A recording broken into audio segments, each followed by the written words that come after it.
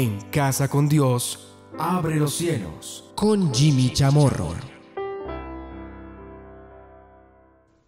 Bienvenidos a Abre los cielos, el último espacio del día en torno a Dios. Vamos a seguir con todo esto que significa la mansedumbre, del ser mansos. Y hoy vamos a ver lo que concierne a la carrera del manso. Así lo he denominado para esta noche. Dice el Salmo 25, 9. Encaminará a los humildes por el juicio y enseñará a los mansos su carrera. Dice entonces que Dios es el que encamina, me encamina ahí por el juicio, pero también enseña a los mansos su carrera. No olvidemos lo que Jesús nos dice frente a todos aquellos que estamos cansados, que estamos trabajados, que estamos cargados. Venid a mí, dice el Señor, y yo os haré descansar. Su yugo, dice, es ligero. Su yugo es fácil y su carga es ligera.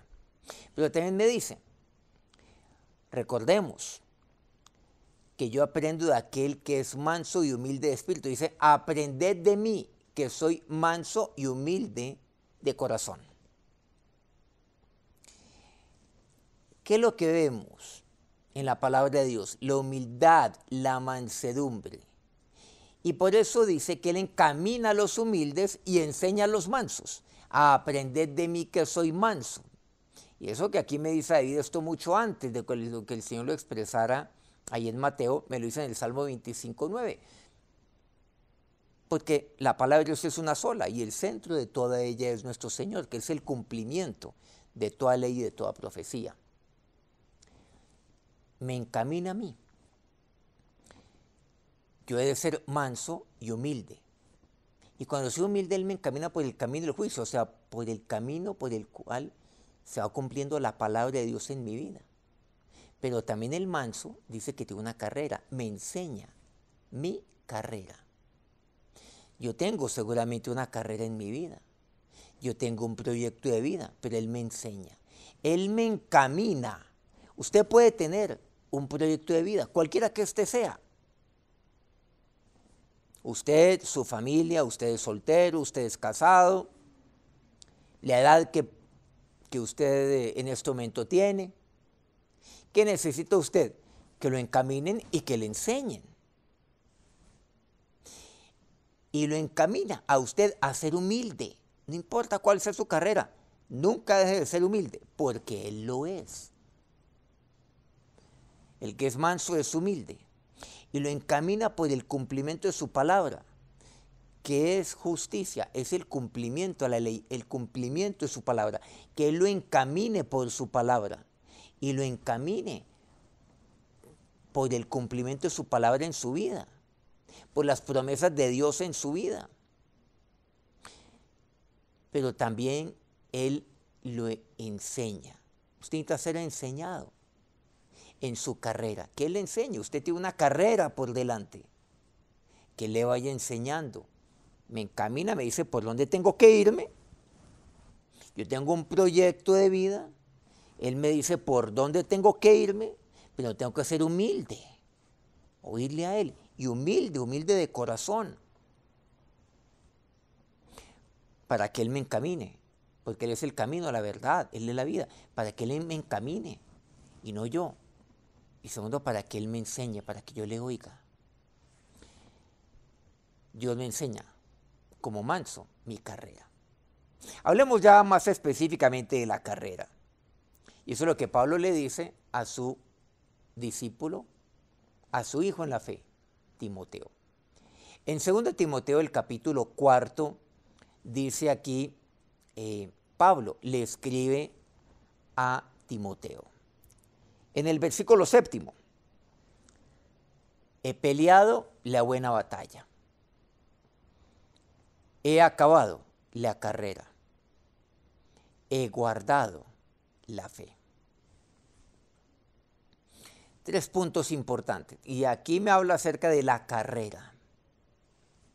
la carrera del manso, el cual Él me enseña. Él me encamina y Él me enseña. Encamina a los humildes, porque el manso es humilde, no olvidemos, porque Él es humilde, Él es manso y humilde.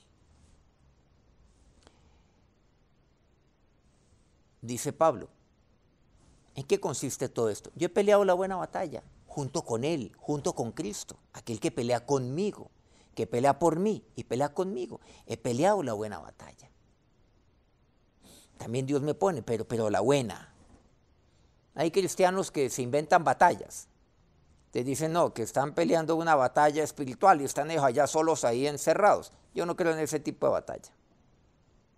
Son, son batallas ficticias. Es como, como aquel que se mete detrás de un videojuego y entonces comienza ahí a pelear y está en ejército, comienza y ganó y, y, le dice al otro, hola, ¿cómo te fue? No, me fue muy bien, derroté a tal este. Bueno, pero, pero eso, es, eso es un juego.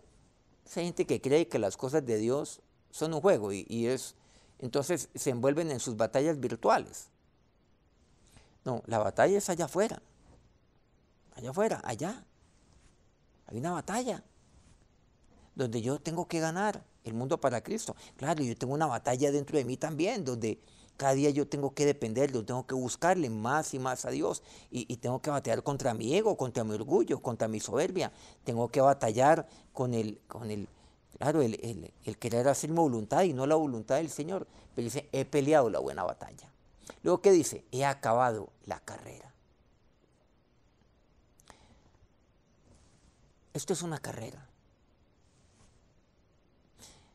No olvidemos que la palabra de Dios nos semeja a la vida cristiana también con, como la de un soldado, por eso dice la buena batalla, como la de un atleta, por eso dice he acabado la carrera, pero también como la de un labrador. Bueno, aquí me dice y he guardado la fe. No olvidemos que el labrador aguarda, dice así eh, Santiago 5, aguarda. Entonces tiene que ver con estos tres puntos. Usted y yo tenemos, tenemos una carrera, claro, usted y yo somos soldados aquí. El soldado batalla, pero la buena batalla. El atleta acaba la carrera. El labrador aguarda. Aguarda hasta que reciba, claro, la ayuda temprana, la ayuda tardía. He guardado la fe. Pero miremos este tema de la carrera, cuando yo acabo la carrera. Un atleta después de que llega a la meta no corre más, después de que cruza la cinta, como decimos comúnmente, ya no corre más, llega a la meta. ¿Quién pone esa cinta? ¿Quién le pone la meta? Pues es Dios el que lo hace. Y cuando uno cruza la meta, ya no sigue corriendo, ya descansa, ya se va a la presencia de Dios. Aquí Pablo está, está hablando acerca de ello. Ya está preparado para irse. Y usted y yo estamos corriendo. Y el hecho que sigamos aquí es porque todavía nos falta mucho. A mí me falta mucho todavía. Seguramente estoy lejos de acabar la carrera. Me falta mucho todavía. Falta mucho en mí. Falta mucha pelea por batallar. Falta mucha carrera por recorrer. Me falta mucho porque me falta mucho todavía ser como Él. Falta mucha mansedumbre y mucha humildad, pero yo voy corriendo, dice así. Porque no olvidemos que Él me enseña, Él enseña al manso su carrera. Por lo demás, dice el apóstol Pablo en el versículo octavo de 2 Timoteo 4, me está guardada la corona de justicia, la cual me dará el Señor, juez justo, en aquel día. Y no solamente a mí, sino también a todos los que aman su venida, me dice así. Dios es justo porque Él cumple su palabra. Aquel juez es aquel que aplica de manera clara la ley y aquel que es juez justo, y no es redundante, Dice Jimmy, pero eso quiere decir lo mismo, eso es una redundancia. No, no lo es, porque los jueces no necesariamente son justos, la mayoría no son justos. Hay muchos que lo son, pero lamentablemente la justicia en demasiados países, por no decir en todos, esto no funciona. Pero Dios sí, Dios es justo, porque Él siempre cumple su palabra, cumple sus promesas. Porque su palabra es palabra fiel, como dice Pablo. Palabra fiel es esta. Pero también recordemos algo, que la esperanza nunca avergüenza. Dios es justo. Yo no he de ser avergonzado. Cuando yo pongo en Él mi esperanza, nunca seré avergonzado. Luego Pablo aquí me dice, volviendo a este versículo octavo, en aquel día, y no solamente a mí, sino a todos los que aman su venida. Yo la venida del Señor la espero. Eso es lo que hace el manso. Ya hemos hablado acerca de esto, por cierto. El manso espera también. Lo vimos empezando esta semana cuando hablamos acerca de lo que es el estar quieto. Y el estar quieto, pero de acuerdo a lo que dice la palabra de Dios es el esperar, el aguardar, el esforzarme. Recordemos, el alentar, alentar mi corazón y finalmente el esperar, sí, espera en Él. Yo espero la venida del Señor, esto es lo que hace el manso. Y saben lo que aquí me dice, a los que aman su venida. ¿Y yo por qué amo la venida del Señor? Porque yo le amo a Él, porque yo amo a mi manso. Y si yo le amo a Él, yo quiero que Él esté aquí conmigo. Yo quiero estar igualmente con Él. Aquí quisiera compartir una experiencia que puede ser la propia suya también. Son muchas experiencias al respecto. Que tiene que ver con la esperanza.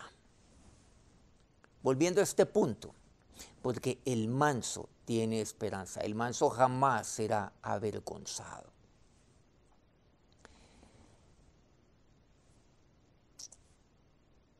Es posible que muchos de los que, o algunos de los que me están viendo en este momento, han perdido a, a un ser amado. Bueno, solamente todos lo hemos perdido. Y todos nos iremos de aquí, de esta tierra llegará el momento donde eso sucederá, donde literalmente acabe mi carrera. Porque esto estamos hablando. La carrera del manso. El manso finalmente acaba su carrera. El momento donde ha de ir a la presencia de Dios. Como Dios se llevó a Moisés. No, hasta aquí fuiste Moisés, tranquilo, ya. Y Dios se lleva a Moisés. Así como lo hizo, como lo hizo con Josué en su momento. Y así como lo ha hecho con todos. Así como lo hizo, por ejemplo, con mi padre. Y Dios es soberano y, y, qué puedo yo decir o qué cuestionar acerca de la soberanía de Dios. Pero me refiero a la pérdida, por ejemplo, de, un hijo, la cual no tiene explicación, como dice el dicho, no, es que eh, pues el derecho a las cosas es que los hijos enterremos a nuestros padres y no al revés, y no a la inversa. Sobre todo cuando son pequeños. Conozco casos de padres que han perdido a sus hijos, muchos de sus hijos pequeños, pero han perdido a sus hijos, siendo inclusive niños o inclusive jóvenes. Y entonces uno dice, pero bueno, pero, pero ¿por qué se fue tan prematuramente? Y entonces esto, esto causa, claro, eh, tristeza, demasiado dolor. Esto es eh, indescriptible, estoy absolutamente seguro. Es terrible. Quienes han pasado por eso dicen que esto, esto no se supera humanamente, que, que esto jamás se olvida. Y entonces en la habitación donde estaban todavía siguen estando ahí la cama, los juguetes. Y, el luto es muy lento. Y a veces uno piensa, pero, pero nunca voy a dejar este luto. Pero también se entra en, en resentimiento y por ende amargura. Hay resentimiento contra Dios. ¿Por qué me lo llevó? Si Dios me lo llevó tan prematuramente, ¿por qué me lo dio en primer lugar? O sea, hay demasiadas preguntas y hay muy, muy pocas respuestas, o mejor, ninguna. Y es posible que ese sea su caso. Conozco casos. Es posible que algunos de esos casos me estén viendo, de los que yo conozco personalmente. ¿Qué hacer frente a ello? O aquel que también perdió a su esposa. Bueno, seguramente también usted pensará prematuramente, o a la inversa. Pierde a su esposo, sus hijos están pequeños. ¿Qué decir al respecto? ¿Cómo sobrellevar una pérdida de estas sin esperanza? Porque cuando hablo de carrera estoy hablando de esperanza. Hay un momento donde yo culmino mi carrera. Donde ya, ya llego a la meta. Y yo tengo una esperanza. ¿Cómo sobrellevar una pérdida sin esperanza? La esperanza es aquello lo cual me permite a mí sobrellevar tantas cosas. Pero no solamente sobrellevarlas, sino inclusive superarlas.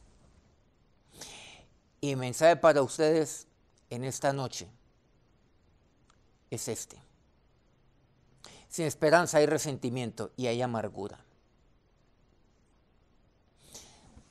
Me pueden decir, Dime, pero usted no sabe lo que es perder un hijo.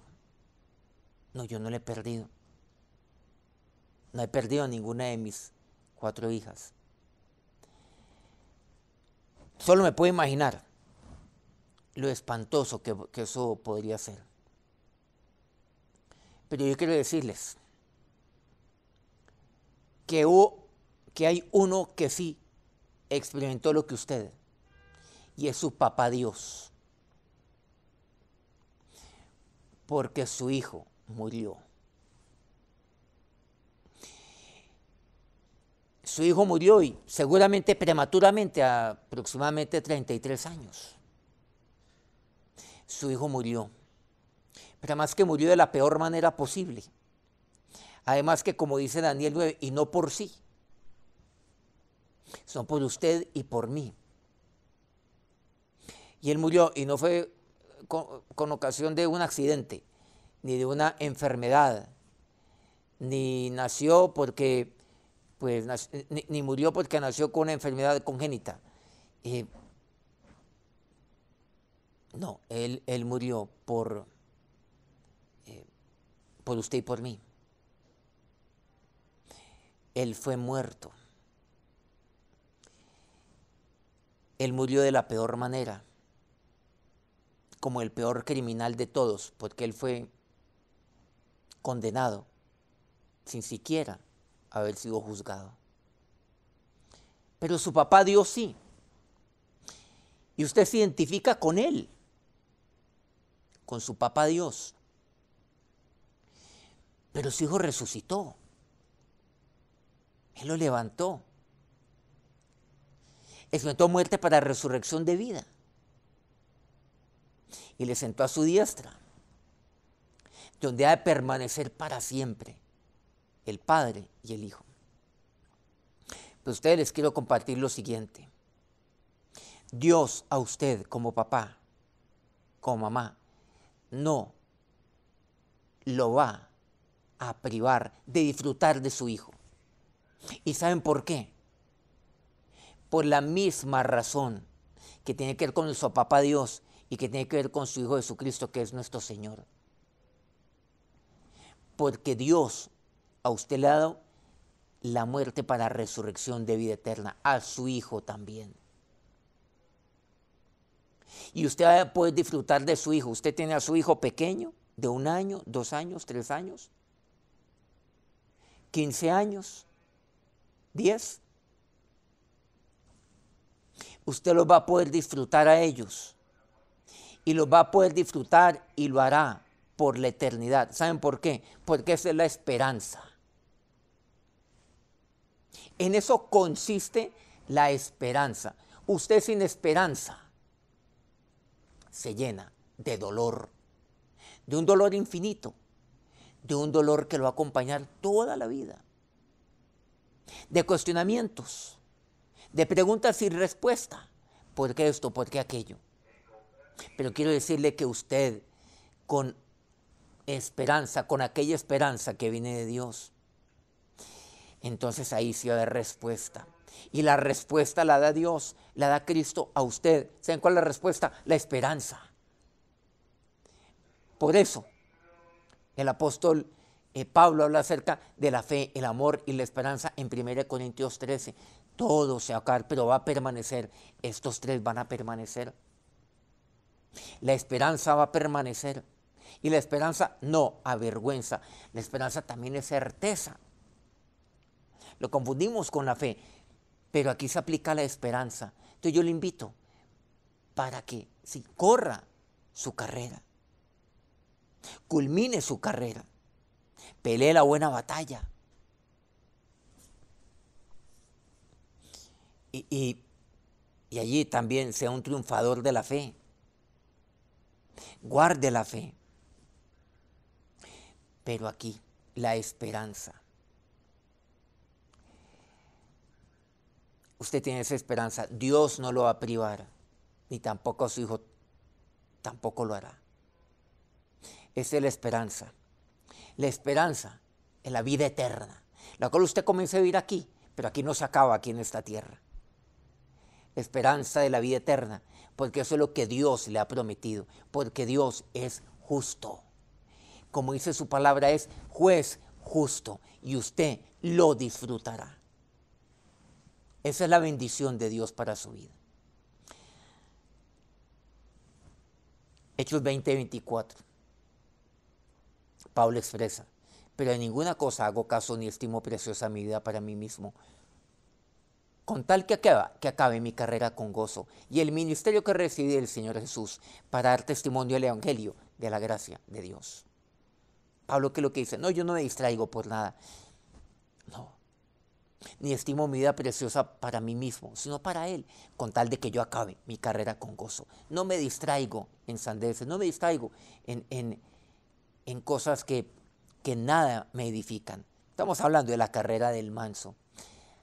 Yo voy a acabar mi carrera con gozo. El ministerio que yo recibí del Señor Jesús. Miren, nada tiene por qué quitarme el gozo. Yo tengo que correr con gozo. La esperanza es aquello que me da paz, recordemos. La esperanza es aquello que me hace que, también me permite vivir como bienaventurado. La esperanza es aquello que igualmente me da gozo. También ha perdido usted el gozo. La esperanza es la que le gozo.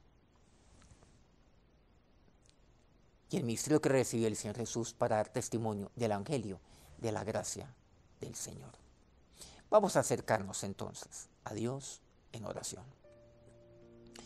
Ahora, Señor y Dios, a ti, oh Dios, te entrego mi vida. Dígale al Señor en esta noche. Y si usted necesita reconciliarse con Dios, hágalo en este momento. Me reconcilio contigo, Dios. Porque he tenido tantas preguntas, pero he dejado que mi corazón se llene de, dolor y que, y que mi corazón permanezca dolorido. Señor, he dado que mi corazón se llene de resentimiento. Y entonces allí, Señor, nació una raíz de amargura. Contra ti, oh Dios, contra ti me he resentido. Pero Señor, tú eres perfecto. Y gracias Dios por la esperanza porque la esperanza permanece, la fe, el amor permanece para siempre. Y la esperanza no avergüenza. Y yo he puesto mi esperanza en ti, Jesús. Mi esperanza eres tú. Mi esperanza es tu muerte, Jesús. Y mi esperanza es tu resurrección. Y yo lo creo, Dios. Y si esto es así, entonces, Señor, yo me lleno de paz, porque la esperanza es paz. Porque la esperanza es gozo. Yo puedo correr mi carrera con gozo.